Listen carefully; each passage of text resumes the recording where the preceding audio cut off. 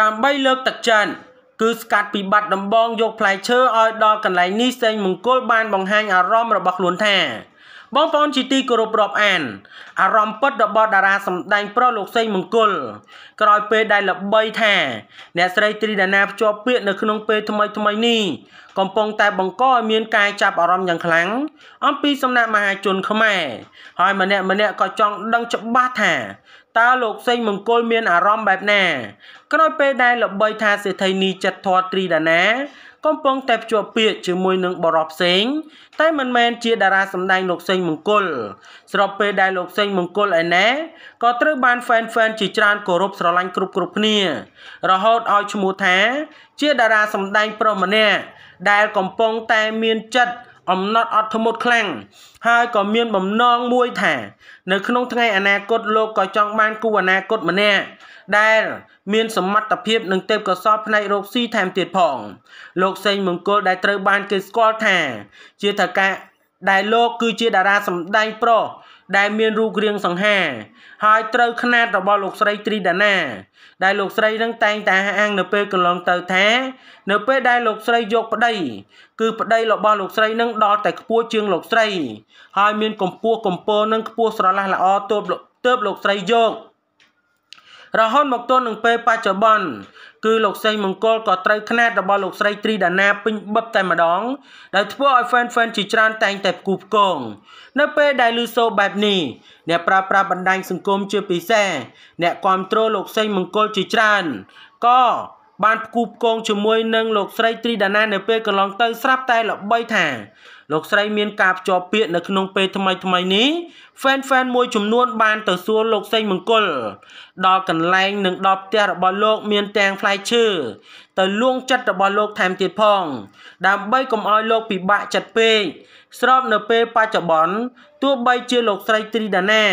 មានអ្នកថ្មីក៏ដោយចោះហើយទោះបីជា រៀបការជាមួយនឹងគេក៏ដោយចោះក៏វាមិនមែនអ្វីជារឿងមួយទាស់ខុសដែរពីព្រោះថា លោកមិនអាចឆោងតោងដល់ឡើយរហូតមកទល់នឹងពេលបច្ចុប្បន្ននេះពាក់ព័ន្ធជាមួយនឹងរឿងរ៉ាវរបស់លោកសេងមង្គលក៏និយាយចំចំបែបនេះដោយលោកជាតារាសម្ដែងប្រុសម្នាក់ដែលកំពុងតែផ្ទុះនៅការចាប់អារម្មណ៍ខ្លាំងក្រោយពេលដែលខ្លាចជា BA របស់លោកស្រីត្រីដាណាហើយក៏ត្រូវបានគេដាក់ការសង្ស័យថា កំពុងតែមានទំនាក់ទំនងស្នេហាជាមួយនឹងថកែចិត្តធររូបនេះជាក់ស្ដែងដោយក្តីស្រឡាញ់អ្នកមីងម្នាក់ក៏បានស្កាត់ពីខេត្តបាត់ដំបងយកផ្លែឈើមកឲ្យលោកសេងមង្គល ដល់កន្លែងហាត់ប្រាណគណៈដែលកន្លងមកក៏មានអ្នកគ្រប់គ្រងមួយចំនួនបានមកលួយមកលេងលោក និងមានបំណងចង់ផ្ញើរបស់ផ្សេងផ្សេងផងដែរចំណែកលោកសេងមង្គលឯនេះវិញក៏បានរៀបរាប់ជាលើកដំបូងថាក្មួយនឹងគឺសូមអរគុណចំពោះអ្នកមីងដែលជាហ្វេនគ្រប់គ្រងម្នាក់បានធ្វើដំណើរមកពីស្រុកសំពើលូននៃខេត្តបាត់ដំបងនិងយកផ្លែឈើមកផ្ញើក្មួយដល់កន្លែងហាត់ប្រាណតែម្ដង តាមកាពិតអ្នកមិញហើយនឹងពូមិញបងប្អូនមួយចំនួនខ្លះគាត់នឹងក៏ធ្លាប់បានខលមកខ្ញុំ កាលពីមុនមកដែរគឺចង់ផ្ញើរបស់មកឲ្យខ្ញុំដោយសារតែ ការស្រឡាញ់ចូលចិត្តពួកខ្ញុំ ហើយពួកគាត់នឹងក៏មានចំពោះ